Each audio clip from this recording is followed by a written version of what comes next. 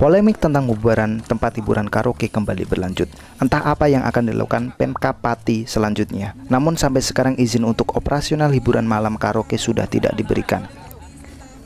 Bupati Pati Haryanto mengatakan baik putusan Mahkamah Agung maupun PT UN tidak memperbolehkan tempat hiburan karaoke untuk beroperasi.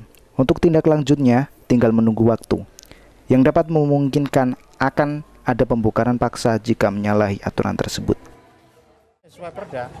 Jadi tidak boleh karena nggak saya nggak ngasih izin operasional sudah sudah nggak ada izinnya. Putusan Mahkamah Agung, putusan PT UN, nah itu. Tinggal kita waktu saja. Nanti waktu setelah ini kita koordinasi, kita tertibkan. Pak perdanya kan sudah jelas ya, ya jelas. putusan itu.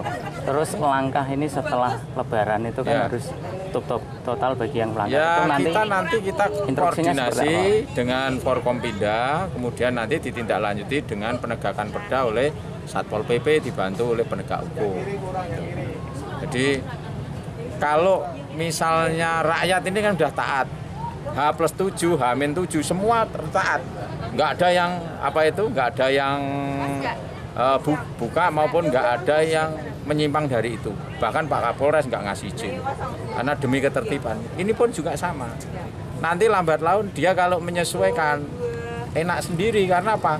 Taat dengan aturan. Bukan nggak boleh, boleh. Siapa yang nggak melarang? Tetapi harus taat pada rambu-rambu perda itu. Apakah nanti ada pembongkaran paksa Pak terkait dengan Ya kalau pembongkaran pembongkarannya adalah kepada yang bersangkutan punya. Yang jelas kalau izin operasional nggak ada itu berarti melanggar aturan.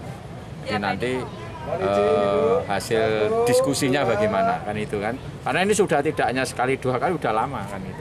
Okay? Apakah sudah diteruskan dengan OPD terkait Pak? Oh sudah, sudah secara intern sudah. Tinggal kami nanti komunikasi dengan Pak Kapolres, Pak Dandim, Pak Kajari, Pak Ketua. Ya. Oksarul Rajai, Simpang 5 TV melaporkan.